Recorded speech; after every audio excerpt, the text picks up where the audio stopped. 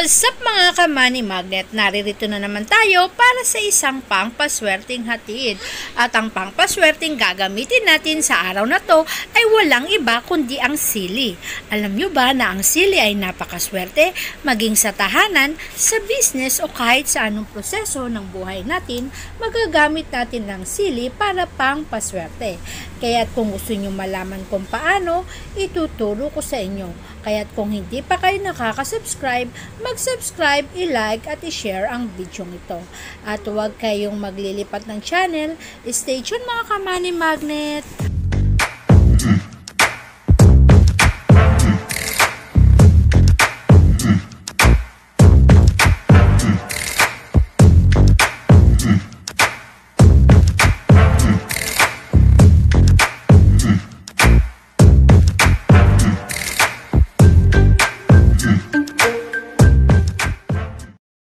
Ba mga kamani magnet na napakaraming nagagawa ng sili?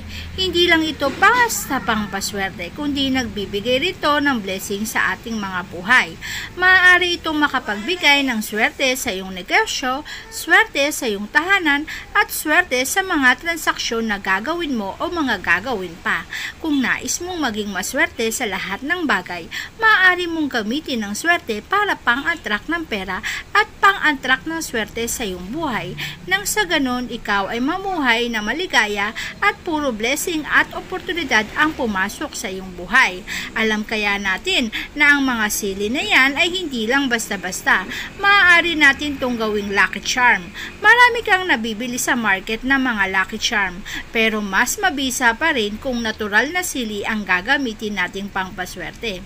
Marami kasing nabebenta dyan ng mga lucky charm na pwede mong isabit, pero kung gagawa ka nito at talaga namang tunay na sili ang gagamitin mong pangpaswerte at lucky charm, natitiyak ko tayo sa iyong ang swerte ay natural nakakapit sa iyong buhay. Maaari mong gawin ang mga nasa larawan at isabit ito sa mga lugar kung saan papasok at magbibigay sa iyo ng swerte. Kaya tatandaan nyo lamang na pag ginagawa natin to, Gagawin natin to tuwing Tuesday o kaya ng Friday sapagkat ang mga araw na yan ang maswerteng gumawa ng ritual. Maswerte rin gawin to sa umaga. Ngunit kung wala naman kayong panahon sa umaga, maaari nyo tong gawin sa gabi. Ngunit kapag ginawa mo to sa gabi, magsindi ka lamang ng kandila para naliliwanagan ang ritual na ginagawa natin para lalong swertihin.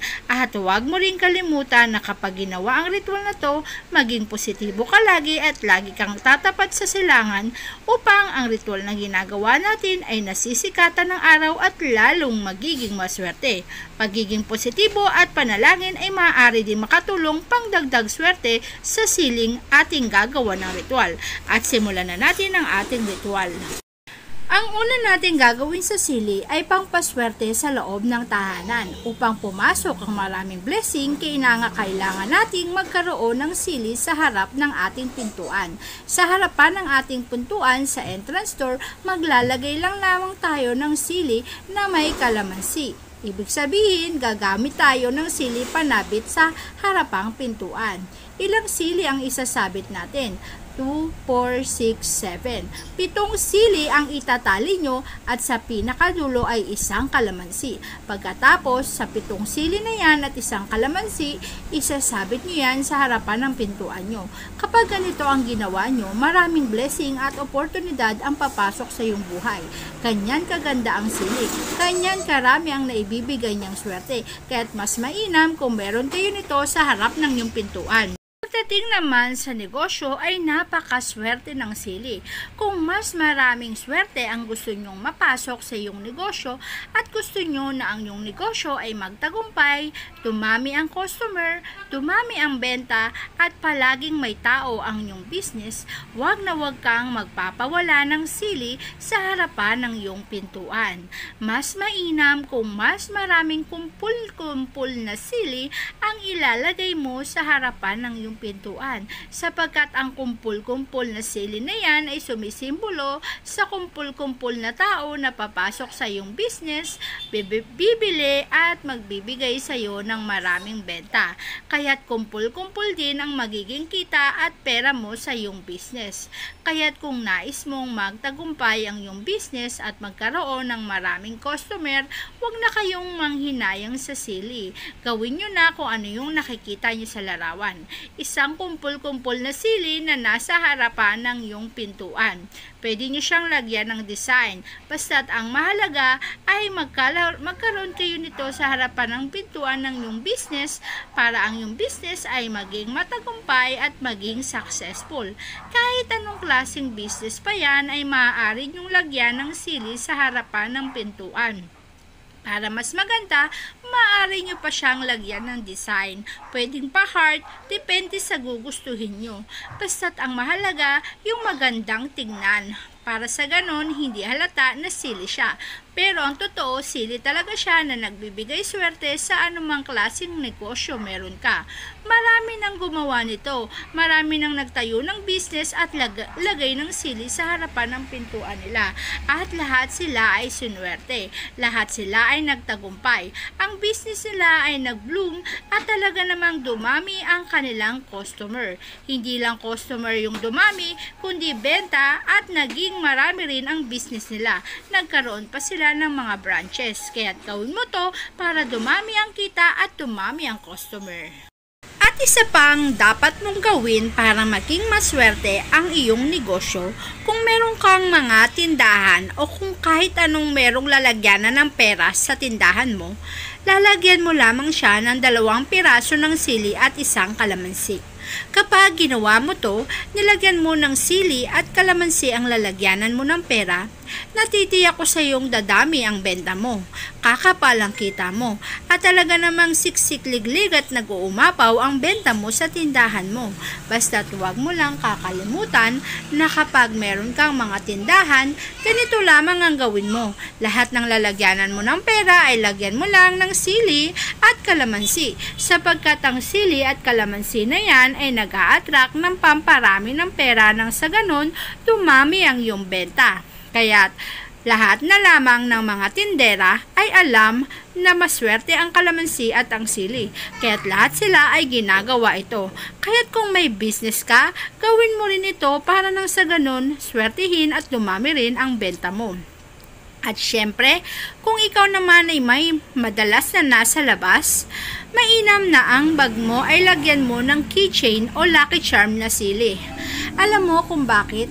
Kapag ang bag mo ay may lucky charm na sili, makaka-attract ka ng maraming transaction, business man yan or online transaction man yan. Kapag umating ka sa meeting o isang samahan, ikaw palagi ang mangunguna. Ikaw palagi ang mapipili. Kahit anong option pa yan, kahit ilan pa ang pagpipilian, ikaw at ikaw pa rin ang pipiliin nila. Kaya't mas mainam kung ang bag mo ay may kitchen o lucky charm na sili para palagi kang panalo sa bidding, palagi kang maraming benta, at palaging anumang meeting ay ikaw ay magugi at ikaw ang mapili sapagkat nasa sayo ang lucky charm na pangpaswerteng sili. Kaya't huwag ka nitong magpapawala. Bukod sa bag, bilang isang nilalang, kung ikaw ay maraming transaksyon sa labas at gusto mo na ang mga transaksyon mo ay maging successful at maging matagumpay, Mainam din kung magsusuot ka ng Lucky Charm na sili. May mga kwintas na nabibili na gawa sa sili or may mga kwintas na sumisimbolo sa sili. Imitation ng sili. Kapag meron kang suot nito, siguradong magiging maswerte ka sa lahat ng transaction mo meeting man yan o kahit ano pa yan. Talagang magtatagumpay ka. Kaya't mas mainam kahit saan ka pumunta, magsuot ka lang ng Lucky Charm na kwintas na may sili at ikaw talaga naman ay siswertihin. Lahat ng transaction mo ay magtatagumpay at ikaw ay walang magiging problema sa lahat ng oportunidad na darating sa iyong buhay.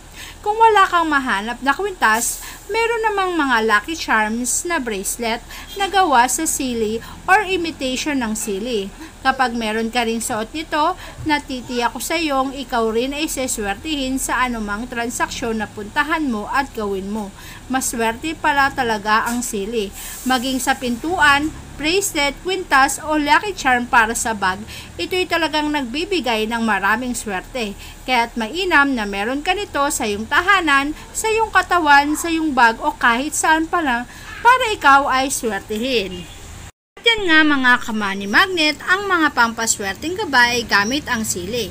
Tandaan lamang na ang mga bagay na to ay magsisilbing gabay lamang. Manatili po tayong nananalangin at naniniwalang ang lahat ng bagay ay makakamtam natin kung may positibo tayong isipan at samahan natin ang pagkilos para lalo tayong magtagumpay. Maraming salamat mga kamani magnet. Kung hindi pa kayo nakasubscribe, mag-subscribe, i-like at i-share ang bidyong ito. Thank you very much!